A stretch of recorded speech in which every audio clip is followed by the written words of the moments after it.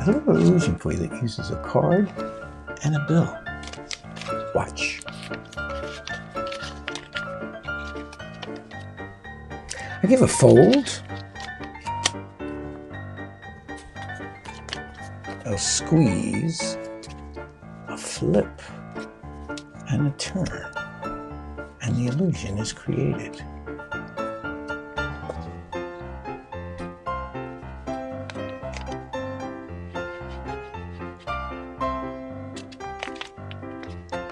Yes, it looks as if that card has penetrated the bill. But it's just an illusion, which can be destroyed just as easily with a little fold, a little squeeze, a little turn, a little flip, removal of the card, and examination of the bill.